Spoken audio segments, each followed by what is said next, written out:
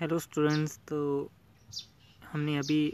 basis of a vector space की definitions की है। तो उसके बाद एक जनरल रिज़ल्ट होता है कि अगर आपके पास कोई वेक्टर स्पेस है V M over the field F where F आपके पास कोई फ़ील्ड होती है एंड अगर उसके पास कोई भी सेट है जिसके पास एम एलिमेंट से दैट मीन्स एम एलिमेंट से ज़्यादा एलिमेंट्स होंगे तो वो सेट पक्का लीनियरली डिपेंडेंट बन जाएगा। That means dependent and so can not be basis of V M अगर डिपेंडेंट हो गया तो वो बेसिस नहीं बन पाएगा क्योंकि बेसिस के अंदर लीनियरली इंडिपेंडेंट सेट चाहिए। फिर डेफिनेशन सेकंड आता है कि फाइनेट डायमेंशनल वेक्टर स्पेस किसे कहते हैं। ठीक है? डायमेंशन ऑफ़ वेक्टर स्पेस की बात करते हैं सबसे पहले। फाइनेट डायमेंशन वेक्टर स्पेस की बात बाद में करते हैं। डायमेंशंस क्या होते हैं किसी वेक्टर स्पेस की? अभी हमने बेसिस की है तो बेसिस हमें पता है कि वेक्टर स्पेस होता है, उसका सबसेट होता है कोई भी।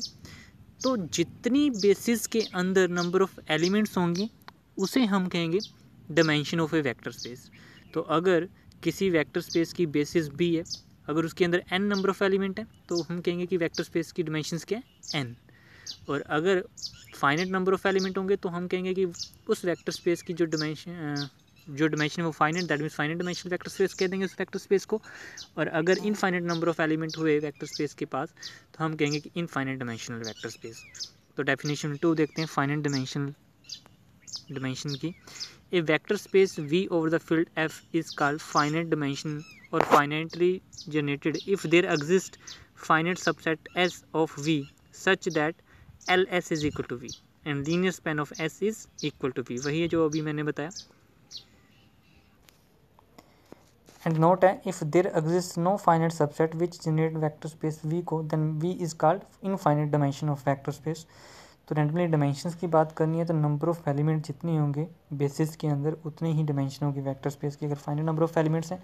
तो हम वेक्टर स्पेस की डायमेंशन को फाइनेट कहेंगे। अगर कोई फाइनेट सबसेट नहीं है डायमेंशन के अंदर that means infinite number of element तो हम कहेंगे कि बेसिस के अंदर इनफाइनेट नंबर ऑफ़ एलिमेंट है तो उस वेक्टर स्पेस की डायमेंशन इनफाइनेट है एग्ज़ाम्पल फ़र्स्ट जो ए पार्ट गिवन है एग्जांपल के अंदर लेट बी वन एक सेट गिवन है, जिसके अंदर आपके पास one zero zero one one zero one two three zero one zero B subset of vector space V three over R already हमें पता है कि जो वी एम वैक्टर स्पेस होता है, अगर एम से ज़्यादा नंबर ऑफ़ एलिमेंट हो तो वो लीनियरली डिपेंडेंट होते हैं that means B one V three है दैट मीन्स एम की वैल्यू जहाँ पे थ्री है वी थ्री ओवर है तो थ्री से ज़्यादा वैक्टर्स किसी भी सेट के अंदर हो गए, वो पक्का लीनियरली डिपेंडेंट होगा दैट मीन्स बेसिस नहीं बनाएगा। तो we already show that B one is not a sub not a basis of vector space V three over R hence we shall say that कि जो L B one is equal to V three R क्योंकि dependent set भी generate कर सकते हैं।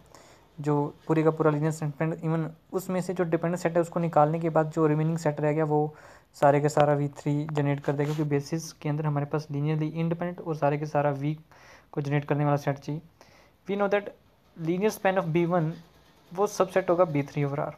ठीक? And at any vector कोई भी वैक्टर्स लेंगे alpha one alpha two alpha three belong to B three उसको एक्सपेक्ट कर पाएँगे हम linear combination of L basis जो लीनियरली डिपेंडेंट होगा। तो अब हमने लीनियर कम्बिनेशन चारों वैक्टर का इसलिए लिखा क्योंकि मेरे को लीनियरली डिपेंडेंट वैक्टर निकालना है, इन चार वैक्टर में से जो भी लीनियरली डिपेंडेंट वैक्टर उसको निकालना तो alpha one, alpha two, alpha three को मैंने लीनियर कम्बिनेशन लिखा। अब बेस बी वन के चार वैक्टरों की हेल्प से। A into one zero zero B into plus B into one one zero and plus C into one two three plus D into zero one zero for A B C D scalars हैं जो real numbers में से। तो right answer को solve किया। आपके पास एक वेक्टर आया A plus B plus C comma B plus two C plus D comma three C that means component wise scalar multiplication की और कंपोनेंट वाइज एडिशंस की। तो अब लेफ़्ट और राइट दोनों वेक्टर हैं थ्री कंपोनेंट है जिसके अंदर तो इक्वल तब होंगे अगर फ़र्स्ट कंपोनेंट फ़र्स्ट के इक्वल है सेकंड कंपोनेंट सेकंड के इक्वल है और थर्ड कंपोनेंट थर्ड के इक्वल है।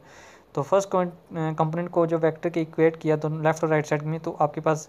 A plus B plus C is equal to alpha one है। सेकंड कंपोनेंट लेफ़्ट और राइट साइड को कंपेयर किया तो आपके पास B plus two C plus D is equal to alpha two है। और थर्ड कंपोनेंट को इक्वेट किया तो आपके पास three C is equal to alpha three आया तो अब आपके पास तीन इक्वेशंस हैं। इनको सोल्व करोगे तो आपके पास third equation three C is equal to alpha three की हेल्प से आपके पास अल्फ़ा थ्री की वैल्यूज़ इक्वेशन फ़र्स्ट और सेकंड के अंदर पुट करोगे तो आपके पास सी की वैल्यूज़ आएगी। दैट इज़ सी की values alpha three by three आ गई। अब अब टू इक्वेशन के अंदर इसकी वैल्यूज़ पुट करोगे तो वहाँ से आप A in term of alpha निकालोगे और B in term of alpha निकालोगे अब फ़र्स्ट टू इक्वेशंस के अंदर ए और बी की वैल्यूज़ डी को कुछ पुट करने पे आ रही है। That means does a non zero solution exist करेगा? इक्वेशंस का alpha one alpha two alpha three belong to V three and alpha one alpha two alpha three B one में से उठाया। So V two over R आपके पास linear span of B one आ गया। That means from one two से हमें मिल गया कि V three over R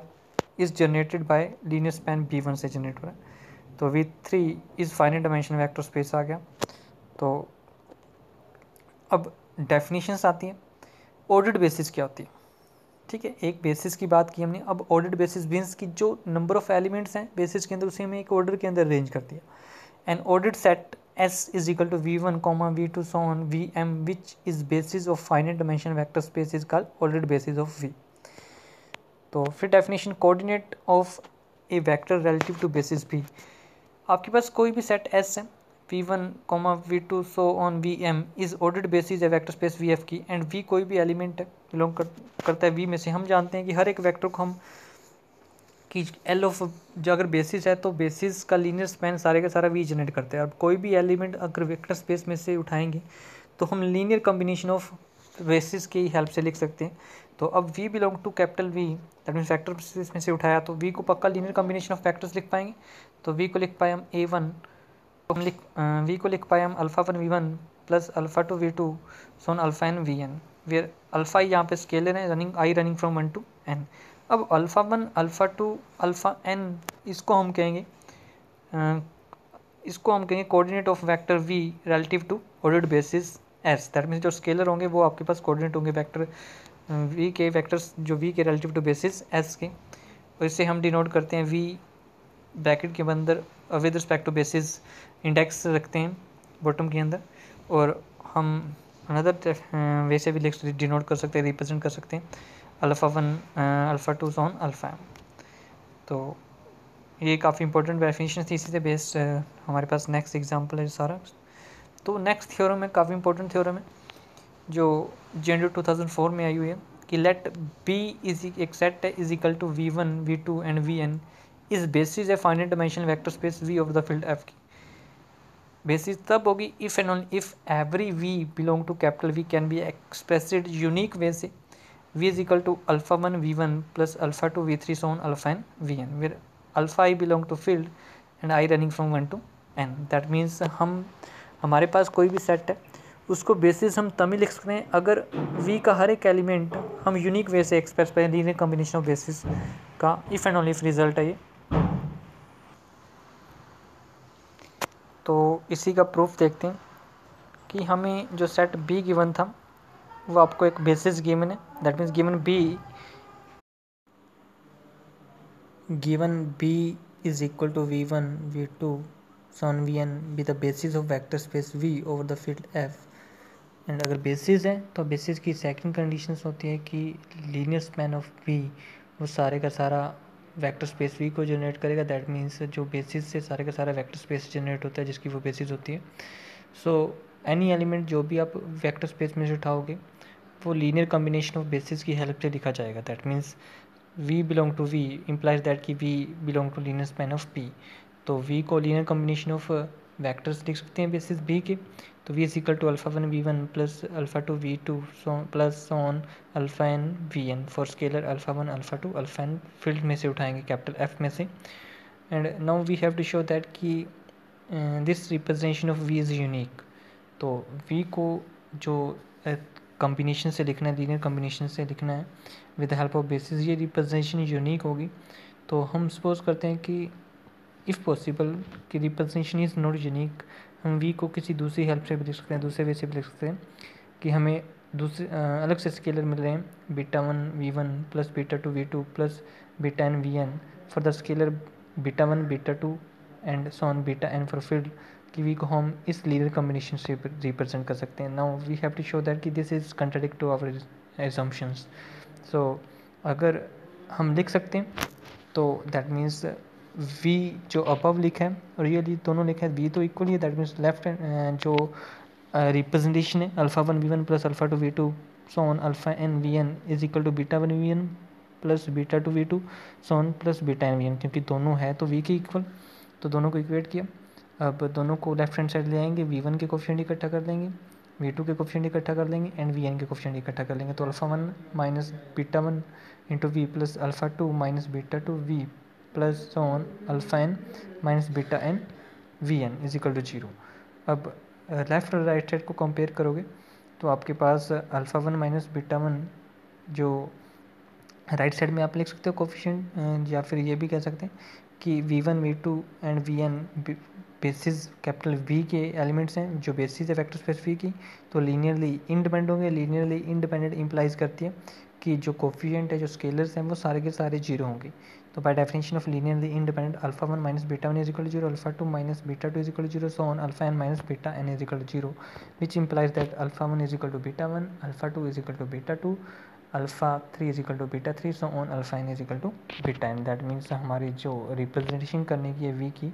कि हर एक vector V belong to capital V can be uniquely express कर सकते हैं which is V is to alpha one V N plus alpha two V two and plus alpha N V N alpha I belong to field that means जो unique way से लिख सकते हैं, क्योंकि we हमारे पास आर्बिटरी एलिमेंट उठाया तो ये रिज़ल्ट हर एक V belong to capital V में से होल्ड करेगा। अब कन्वर्स पार्ट के अंदर हम वी की रिप्रेजेंटेशन को यूनिक लेके चलेंगे और हमने बेसिस शो करना है। तो let every vector V belong to capital V be uniquely expressed as V is to alpha 1 v in plus alpha 2 v2 so on, alpha n, v n where alpha i belong to field and i running from 1 to n and we have to prove that ki capital B is equal to v1 so on v2 so on vn is the basis of vector space here basis के लिए आपको एक तो linearly independent show करना है और दूसरा कि सारे का सारा जो v है वो बेसिस से जनरेट हो जाए that means linear span of p is equal to v तो सबसे पहले लीनियरली इंडिपेंडेंट शो करते हैं consider alpha 1 v1 plus alpha 2 v2 so on alpha n vn is equal to 0 linear combination zero लेके चलते हैं for the scalar alpha one alpha two so on alpha N is equal to belong to field and we have to write the vector O as O vector को भी लिख सकते हैं zero V one plus zero V two so on zero V N that means representation unique है तो that means zero भी V में से बिलोंग करता है वेक्टर स्पेस, एक्टिव तो होगी दैट मीन्स इसकी रिप्रेजेंटेशन भी यूनिक होगी दैट मीन्स जो अबव आपने लीनियर कॉम्बिनेशन लिया इक्वल टू ज़ीरो रखा और बिलो दोनों equal to zero that means वो दोनों इक्वल होंगे दैट मीन्स जब कॉफिशेंट कंपेयर करोगे तो आपके पास आएगा A one